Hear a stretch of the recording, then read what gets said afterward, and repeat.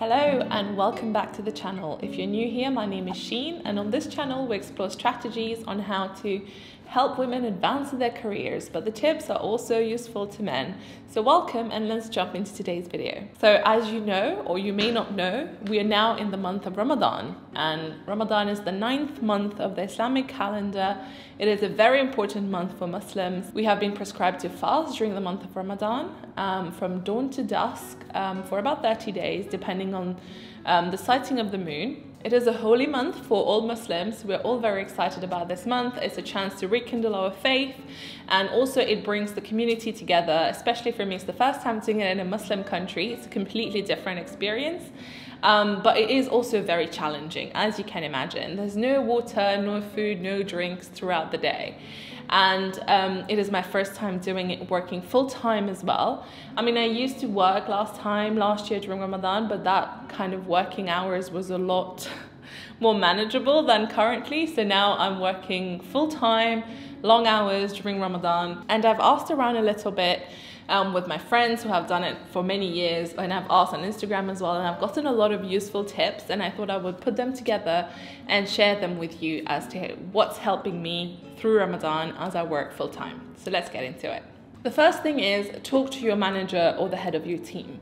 In my experience, this one time and even last year is whenever you try to talk to the person who's in charge of you or you report to, they are very open, very flexible, and very understanding. Even companies, you know, they will send out emails telling everyone that they should be a bit more aware that Ramadan is starting, what is Ramadan, and how to make the workload better for your team members and how to work around their times in order to make it easier for them. So for me, this has worked really well.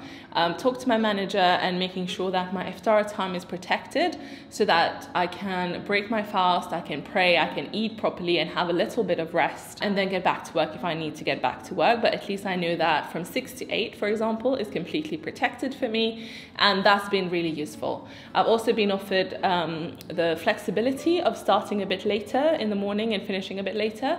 Um, so that's good for me because I wake up for suhoor or sehri, whatever you call it. So that's when we start the fast. So I wake up in the morning for that, and then after that, I go back to bed. And waking up again can be quite challenging. So the later you get to start, the better. So for me, I start at 10 a.m. now, which gives me at least four to five hours sleep again, which is wonderful and very well appreciated. So definitely talk to your team, talk to your manager, and ask them what is suitable for you. The second thing is to adjust your schedule. So, as I touched on briefly previously, is that now you can change how you work, especially if you have the flexibility, of course, depending on your work and who you work for. But adjust your schedule so that you are able to, first of all, get enough sleep because that's really important to help you throughout the day. And secondly, to make sure that you are tapping into the pockets of time where your brain is the most active because it still has energy as opposed to right before iftar when we all literally just struggle to even put words together. So I filmed a video about my schedule Ramadan and how I'm working full time in Ramadan. So if you want to check it out, you can watch the vlog here. But um, the main points uh, of what how I'm trying to make it work for me is that I know that when I wake up in the morning, this is the time where my brain has the most energy because I just ate and then I slept and then I woke up. So I still have all my energy. So this is when I will schedule all my really brain heavy task, right? So all the big tasks that I have to do at work, I will schedule them to be at the start of my day so that I can get through the difficult work, the ones that will be quite um, draining on my energy as well when I am at my top in terms of energy. So then that, that gets drained throughout the day. and then at the end of the day, I will keep things that might not require brain energy that much, that are just repetitive work or admin work that I can just do while being brain dead, right? Um, so that's one way to do it. And the second thing is, for example, now that we're not taking lunchtime, you can use that time to do whatever will reinvigorate energy into you, right? Some people pray, some people are mindful, some people just want to be quiet, some people nap. And I think I've been doing 20 to 30 minutes nap during the day, and that's been helping me. Of course, this is from a place of privilege because I work from home. And as in I don't work from home but we are working remotely at the moment. We have the flexibility of going into the office when we want to or working from home when we want to. And I've been following a bit of like going to the office for two days a week.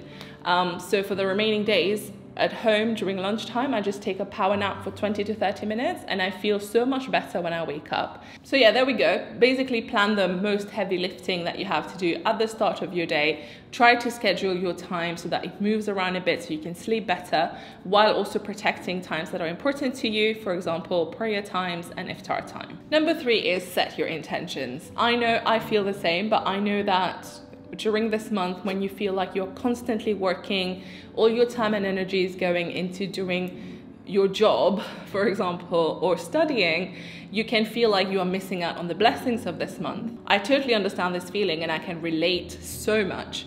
But one big thing about, you know, our religion is that everything is about intention setting. Whatever you do, um, the outcome or the value of that action is entirely based on your intention. So therefore you know sit down and think about why are you working? So you know for example for me thinking about the fact that i'm working of course to pay my bills to get to get paid right so i'm working so that i can get paid and that money I can help my family, I can help myself, and of course, you need to give to charity as well. So you know that this money is being put to good use, right? And also, I am working in order to earn a halal income. So that's good. And then once you have the money, for me, for example, it's also a way for me to then, in the long term, think about ways where I can leave the job and be more, you know, um, doing stuff on my own and going more into the content creation aspect. So all of this is the stepping stone to something else, you know. So, rethinking about why you are doing all of this, resetting your intentions, and knowing that you're doing this while keeping God in mind, while keeping your faith in mind, will help you see the clarity through all these things and that you're not just doing this because you want to do this kind of thing. So, whenever you're feeling this way, you know, just take five minutes and think about okay, for example, if you're studying towards a degree or you are working, think, why am I doing this again? Oh, I'm doing it to earn halal income in order to help myself and help people around me, give to charity, and also the job that I'm doing. Is it harming anyone? Is it doing good for anyone? Um, you know, all of this, just putting it clear into your head that I am doing this with a purpose, with a goal in mind, and this is my intention, and I am doing it hopefully with the blessing of God, right? So then that's fine, and you're still doing all of this together.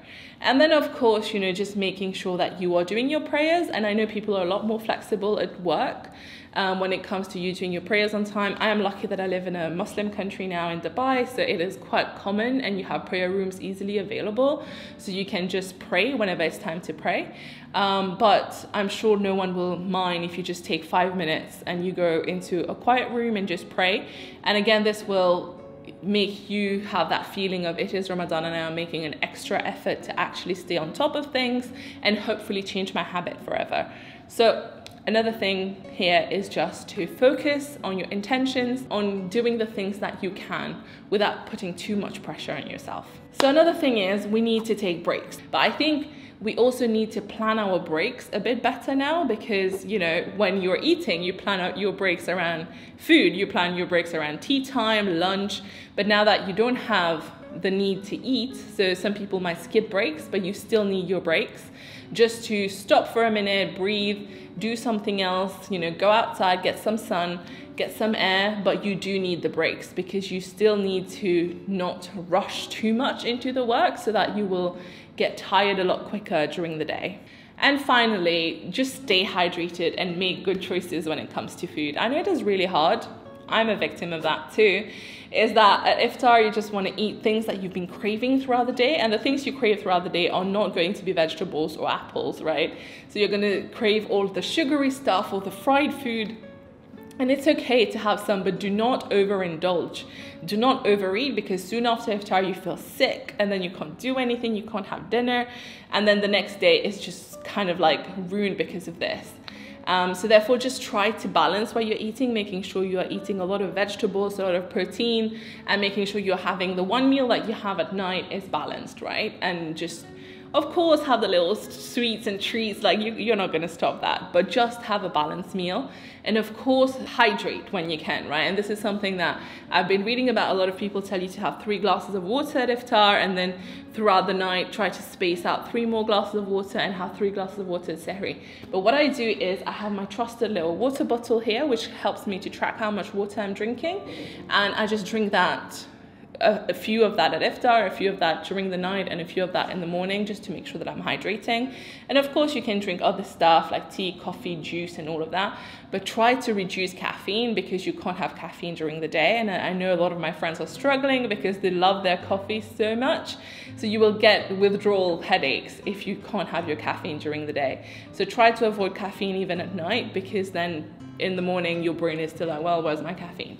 So yeah, so that's that. So these are the five kind of things that I've put into practice and have helped me while working during Ramadan. So far it's been good. It's been a week and a half or so while I'm filming this and it's been okay. Um, very tired, obviously, uh, but also not too bad. Um, my work has been okay. I usually work till six, then I have iftar till eight, and then after eight, sometimes I've had to work for about half an hour, an hour more, but not too bad. For consulting that's not too bad. Um, so i can't complain. So let's see how the rest of it goes. And just a reminder to you know make the most of this month. It's a great month. Spend time with your family and friends you know and make sure to give to charity for those who are less privileged than we are. And you know spread the happiness be grateful and you know make dua for me, pray for me, um, pray for everyone around, pray for the world. And I hope that this video was helpful in any way. And if you were new to Ramadan, thank you for watching the video. And I hope that this was um, helpful in any way for you to understand what it is. But if you have any questions about Ramadan, I'm very happy to answer. Please reach out and um, enjoy the rest of your Ramadan. And I hope to see you around soon. Bye.